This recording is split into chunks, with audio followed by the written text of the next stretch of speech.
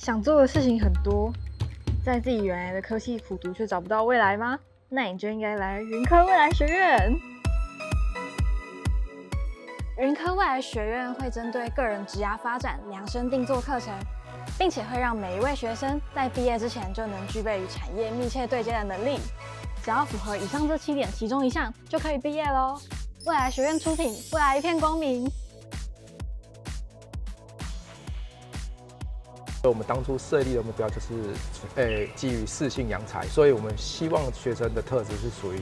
想要勇敢追求自己的道路、自己未来，不会受到传统教育跟传统学制或传统科系捆绑的一个学生的一个特质。然后他勇于去挑战自己，要勇于想要去设计自己的一个未来的一个道路，然后也去追寻自己的目标。这有这种就是比较主动、主动积极的一个特质，会比较比较适合威尔学院。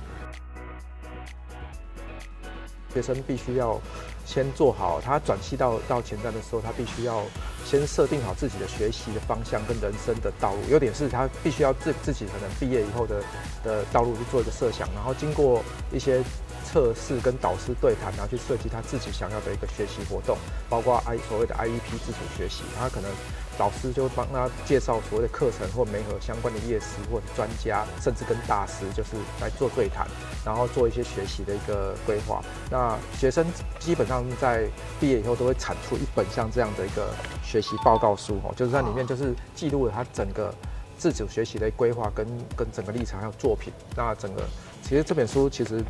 都比一般的打那个硕士或者是博士的毕业都还要厚哦，所以它里面其实包括了他。自己很多的经验跟很多的一个一个想法都在里面，然后还有一些，当然就是心路历程啊。就以现有的毕业生来讲，我们什么样的出路都有哦，就是说，包括学生刚才讲自主创业的，所以我们有学生有创业在当老板的，然后也有在也有创业以后，他发现自己学习不够，又继续升学，而且。学校都还不错，那包括再来就是也有一般就业的，有在台积电，有在捷运局的，就台中捷运局的，所以我们的就业路是非常广。就是学生他其实我相信就业就是取决在学生自己对自己的认识，他要去找工作的时候，他一定要去认识他自己未来的方向。所以当他一个学生有对自己的一个学习方向认识的时候，我相信就业只是水到渠成的问题。在外学院的学生目前的发展表现都还不错。就是他们规划好的梦想都会达成，这样。对，就尽量就是我们就是我们主要是协助学生去完成他自己的想要的一个人生人生的方向跟人生的一个目标。从小其实是比较喜欢动手玩、动手做的那那类型的学生。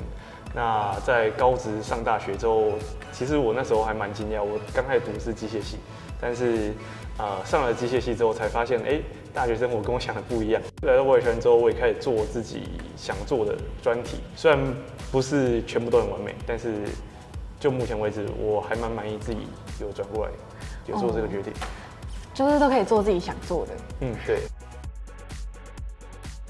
我们在我跟老师的讨论中，其实不是很自私的，就是呃按照计划一步一步一步来，而是单纯是说老师会引导你。所以其实我的。啊，专业领域从一开始机械，那到延伸到机构机构设计，那再到那个 呃商业计划，然后又从商业计划又跳到那个呃现在在做深度学习相关，然后还有呃单晶片物联网，对，那其实每一次的转变都会有一个起点，那我总会在这种起点，就是可能是课，可能是一个契机，那我就去跟老师聊。那聊说接下来可以怎么走，可以怎么做，那怎么发展？嗯，所以老师就是，你就是跟老师说你想做什么，那老师就会引导你怎么去做的更好，或者提供他自己个人的建议，这样。哎，是是是是。所以他也不会就是啊，这个不可行啊，就是打枪你，也不会。这 呃，不叫不会，他会跟你说我不建议，但是哦，基本上不会拦你。嗯，所以就是。很像一个就是很有经验的长辈，然后比较轻松，不会这么紧张，就是一定要就是要上台报告说哦，这是我的提案，我的未来要怎么样？对对对，不是这样，那都比较像朋友。哦哦哦，懂懂懂。有些人会说啊，那个威尔学就是不知道自己干嘛才进来的，但事实上，我个人认为真的不是，就是呃，其实你不知道自己要干嘛，你在元气也没办法做好你分内的事情的话，其实你进来会更惨。其实这里比较比较需要的人才会是，呃，以我个人的看法，我会觉得是清楚自己要干嘛，然后有明确目标，然后发现元气可能就是不适合你的人，才比较适合进来。那至于已经进来可能还走不到方向的学弟妹的话，我的建议会是希望你先跟老师讨论看看，那看是能够从课程方面，还是从他们老师个人的计划方面可以辅助你。那这这些这些动作都会让你就是在未来的历程就是可以更好，而不是就是虚度光阴这样。嗯未来学院欢迎你。